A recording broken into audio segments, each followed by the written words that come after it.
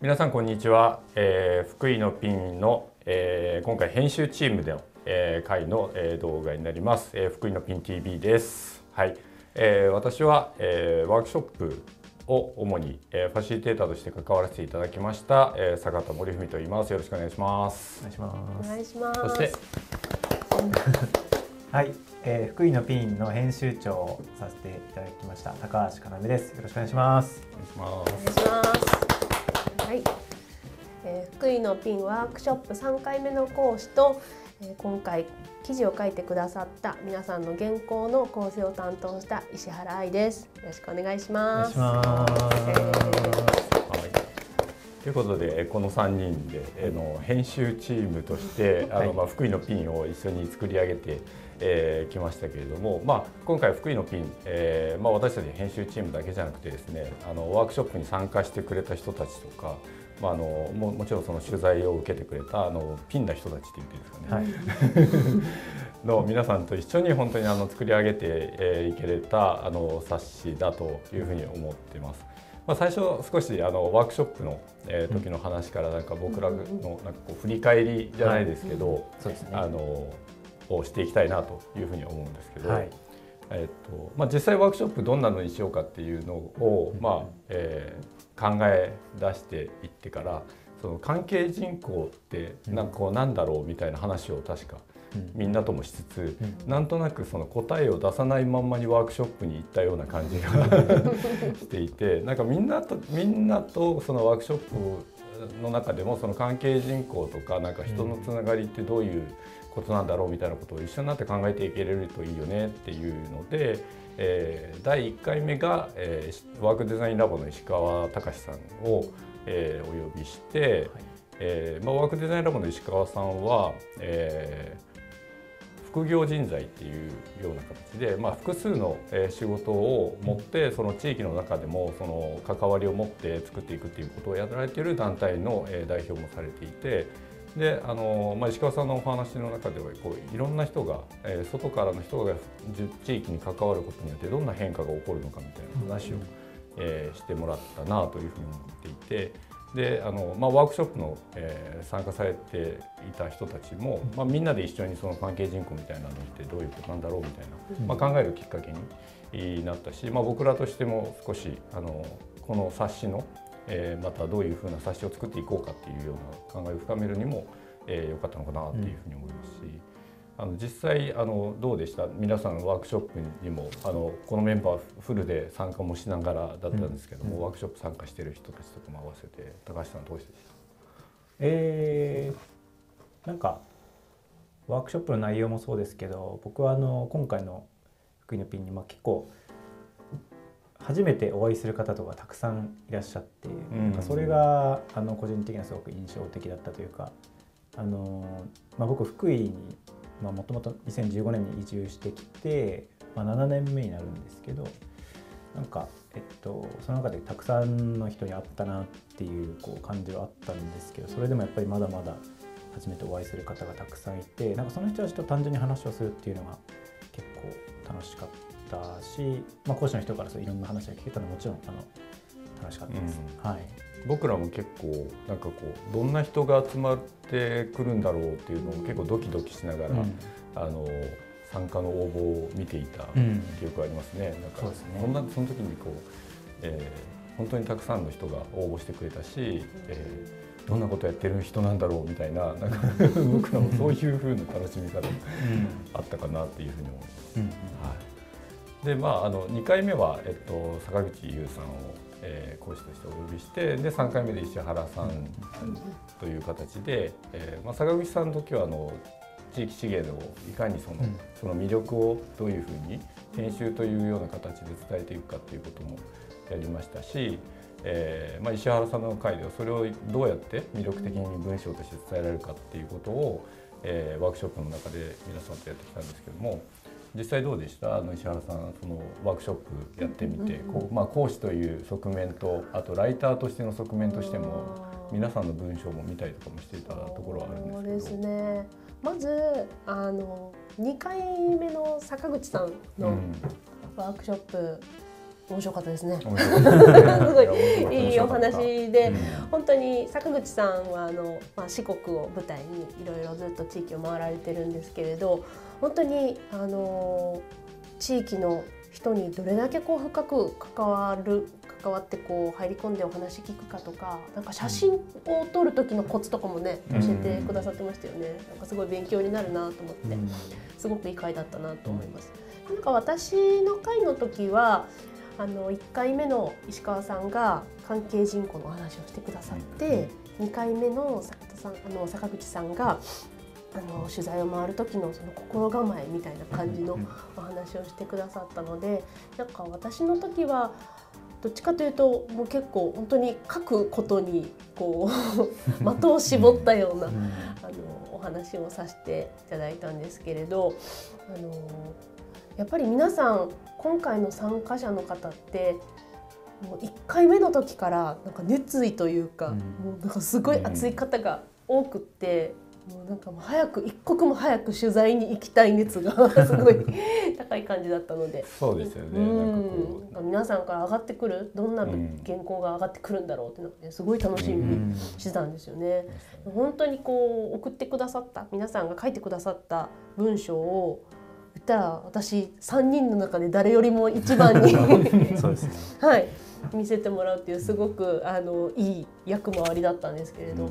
本当になんかこう文章の中からこの取材の時のあのすごく楽しかった様子がもうなんか浮かび上がってくるような感じで、あーなんか皆さんの文章読んでて私も取材に行きたいってすごい思いました。はい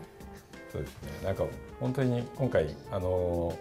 福井のピンの中で取材を受けてくださった人たちは、まあ僕らも知ってる人もいるけれども、改めてなんかこう話を聞くとな全然知らないこともあったりとか、うんまあそういうのも面白いなというふうに思ったんですけど、まあなんかこう福井のピンあの全体こう編集チームとしても関わっていきながらっていうのがあるんですけど、どうでした？その編集長として。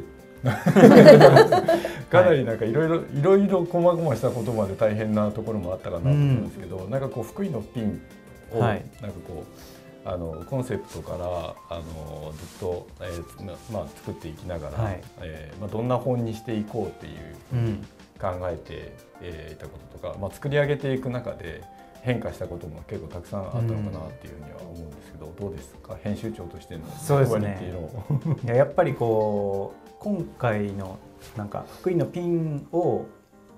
読んでくれた人にこう生み出したい状況うんうん。っていうのをやっぱり考えてなんかそこに持っていくにはどういう人たちを紹介したらいいんだろうとか、うんうん。なんかこうそれがすごい楽しくもあり難しくもありっていう感じでしたね。なんていうかこう今回ご紹介してる人たちって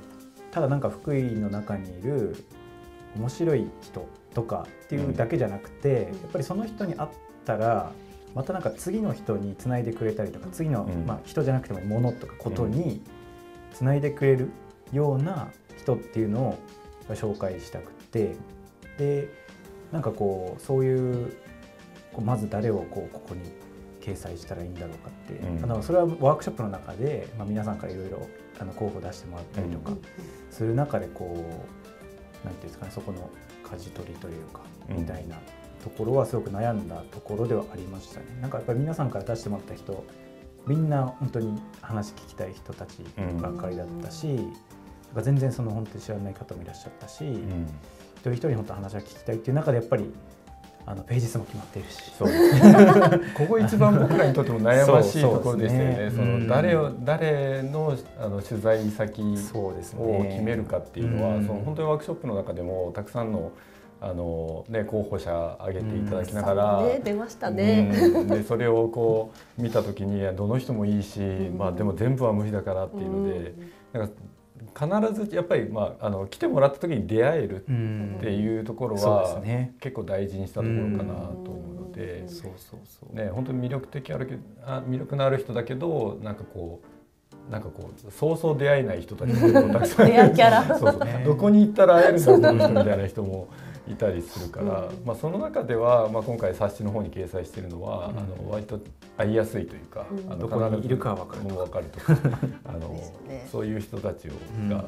主にセレクトされているところはありますね。そうですね、あとまあそのバランスとかもね見ながらやっぱりあの人も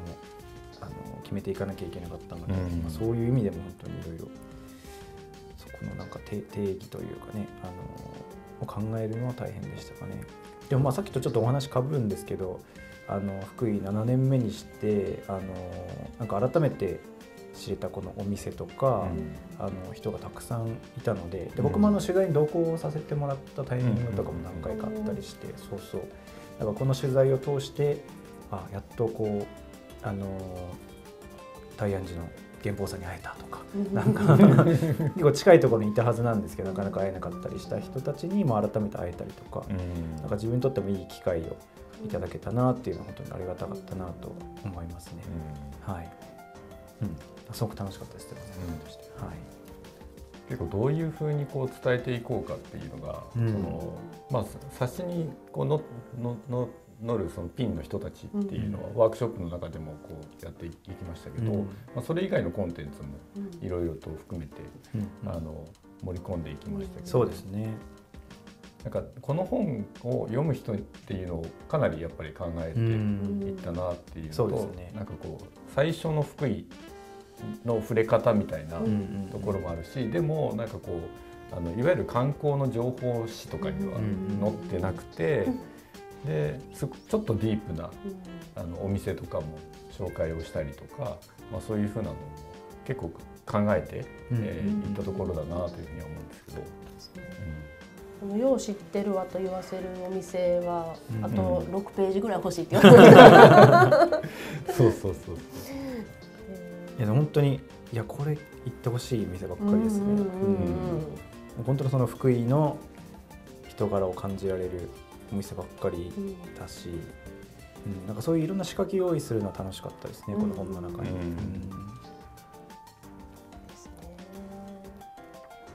なんか全体通じてこうあの初めて福井っていうことを知るにもいいし、うん。福井って何回か行ったことあるけど、えー、とまた次に行く時にはどこに行こうかとか、うん。どんな人がいるんだろうかっていうのをなんかこう両方カバーできるうんうんような冊子にはなっているのかなっていうふうには思いますけどね。なんか初めての人から何回もこう通っているけれども、あの福井のいろんなところを知るまだ知らないことがあるっていうことを、あの深掘っていけれる、うん。まあ、そういうような冊子にもなってるかなっていうふうに思うんですけど。そうですね、うん。うん。このなんかまあえっと前別なピン TV でも話したんですけどこういう、まあ、なんか5つのモチベーションみたいな感じで、うん。あのどういう人がこれを見見てほしいかっていうのをやっぱりこうちゃんと出しておいたのが良かったような気もしますね、結局まあみんなに見てほしいんですけど、うん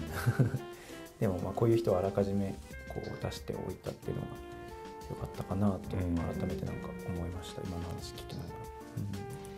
なんかいくつかこう継続してねあのもう少しこ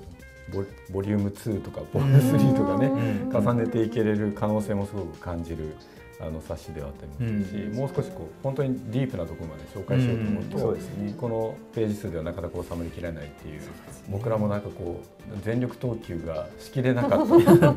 がある感じもしますけど、うん。そうあと2倍ぐらい欲しいですよね。ぐらいですぐらいですね。ね。でもなんかその逆にこれぐらいのページ数だからちょっと旅のお供じゃないですけれど、うん。うん。うん持ちやすいよね。うんうんうん、うん。っていうのもありますね。うん結構県外の方々も、うん。あの取り寄せてくださってるみたいで、それ嬉しいですようね。ん。本当に嬉しいです、なんかそういう人にこそ届いて欲しかったっていうのもあるし、あとこの一番最初のこの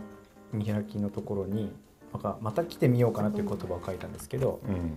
まあ、なんかこれって要は福井に来て福井から帰る時に思ってもらいたい言葉だなと思って、うん。だからこうピンを読んもあのもらって福井に来た人が福井を出る時にまたなんかこういうふうに思ってくれたらすごくいいなと思って、なのでぜひ福井へ来てください皆さん。そういやなんかいいいい本だな。いやいい本本だよね。いい本になったいいね。いろんな活動も見れるし、うんその本当にそそれぞれの人とね本当にこう積極的に関わっていってほしいなっていうふうに思いますしね、ただただあの来るだけじゃなくてなんか関わりをやっぱり持って、うんうん、えー、いただけるといいなというふうに思うんですけど、はい、これ実際この取材の中であの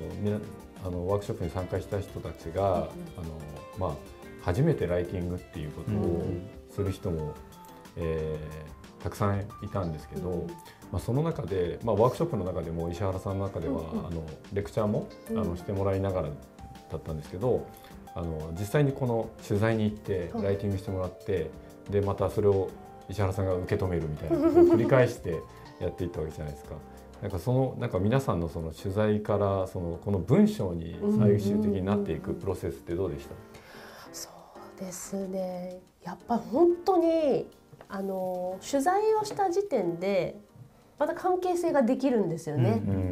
だからあのもうお互い関係性がある中で書く文章だから絶対に取材した人に満足してもらえるような文章にしたいっていう気持ちが本当に溢れててだからあの1回2回のやり取りであのこれで文章完成ですってなった人もいれば10回以上やり取りした方も いらっしゃってでもそれぐらいちょっとタイトルがあの一つ一つの原稿にタイトルがつくんですけれど、このタイトルが納得いかないからもう一回考えます。3案考えましたとか、本当になんかこの皆さんの熱意があるからこそ私ももうとことん構成してやろうみたいな のもあってすごく私にとっても私自身にとってもあの勉強になる。はい。なんか投げ手はたくさんいるけど受け手一人っていう。そうですね。いろんな球を投げられる中を本当に 一個一個丁寧に返されてされていたなっていう感じがするんですけど。でまたその返してこう文章のキャッチボールをやっていくにつれてどんどんどんどん皆さんの文章もねやっぱり良くなっていくんですよね。だからなんかこう今回これを記事化したことをきっかけに、うん、なんかあのご自身でも例えば SNS でもいいしなんかこうブログとかノートみたいなのとかでもいいと思うんですけれど、うん、何かこう文章で発信することの楽しさみたいなのをなんかちょっと感じてもらえると嬉しいなっていうふうに思ってました。はい、それこそ皆さんその取材して編集してっていう中で、かなりこうそぎ落とされていってる部分もあるじゃないですか限られた文字数の中であの表現をしないといけないって言った時に、こうまあ、ある意味こうぐーっと凝縮するようなあの濃縮した文章にはなるんだけど、あのそれ以外のたくさんのことは語りきれてないこともたくさんあると思うのでそういう部分は本当に皆さんが発信してくれるといいなと思います、ね、そうですよね、うん、500文字なんでね。500文字って難しいですよね。めっちゃむずい。なんかこう1200文字欲しい感じじゃないですか。倍以上。結構語語り尽くそうと思うと、そうなんですよ。最低1200文字ぐらいあるとなんかこうまだ言い言い方がね、だいぶあるかなと思ったけど。だからこそなんか一つの単語にすごくこだわったりとか、これよりもっとなんかこう簡潔にこの人のことを表せる表現できるなんか一文ってないだろうかみたいなところを皆さんすごくこだわってくださったなっていうふうに、はい、思ってます。なんかすごい本当に愛にあふれた 冊子になってます。はい。だから一人一人一人の紹介もそうですけど今回だ団体ごとのね、紹介っていうのも、はい。えー、入ってますし、うん、もうそこも結構読み応えのある部分だなというふうに思いますね。本当ですね、こんなに福井市内でもいらっしゃるんですもんね。うん。団体として活動してらっしゃる方が、うん、相当削りましたよね。ね。あの多分まだまだたくさんいるんだけど、そうですよね。そうですよね。ねある程度のその福井って言っても山から海まで、うん、ね山山と町と海まである中で、あの福井福井をどう表現しようかって考えた時に。やっぱりそれぞれの魅力はあるし、うんえー、でもあの偏りすぎてもいけないしっていうところそう。結構苦心はした感じはするでも本当にまあ載せきれなかった分は、うん、あのまあ、今回そのワークショップの狙いとしても、まあ、参加してくれた人自身がこう人をつなぐ役割をこれからやっぱり担っていってほしいというか、うん、っていうこともあるしどんどんどんどんこ今回紹介できなかった人もなんかいろんな人につないでいってくれると嬉しいですよね。うん。はい。なんかこうこの冊子だけでもやっぱり語り尽くせないことがたくさんあるし、まあ、この冊子が続いていけるっていうのもうんあるといいなというふうに思いますし、でもそれ以上にやっぱり皆さんがねあのこのピンをネタにうん。語ってくれるとか、そうですあのねそういうふうにしてくれるとなんかこう編集チームとしてもそれが一番嬉しいことかもしれない。そうですよね。ね。なんか本当になんかコミュニケーションのきっかけみたいなものっていうのをなんかできたらいいなっていうふうに思うし、福井に来るきっかけっていうか福井のことを話すきっかけの一つとして福井のピンを。ね、本当にこれをあのこれ見てきましたみたいなうん。お店の人にこれ見てきましたっていうだけでも、めちゃくちゃ嬉嬉しい。うん。あのすごく答えてくれることもたくさんあると思うし、なんかぜひこの冊子を手に取った方は、うん。あのこれを持ってこれを見せて福井に来ましたっていうふうに言ってあの話を、えー、きっかけにしてもらえると一番いいのかなというふうに、えー思います。はい。ぜひ。はい。ということで、えーまだ、えー少し福井のピンも、えー申し込みそうですね。のウェブサイトからあの申し込んでいただくと無料で郵送してくれるというはい。ことですので。ということで、まあ残りも少なくはなってきてますけど、うんまだ少し残りはあると思うので、あのこまあこの動画が流れる時にかもしれないですけど、なくなってたら。ね、あの限られたブスでしかないので、ね。はい、一度お問い合わせください。はい、というような形じゃあ編集チームとしての振り返りみたいな形の、はいえー話になりましたけれども、僕らからは以上です。ありがとうございました。ありがとうございましたありがとうございました。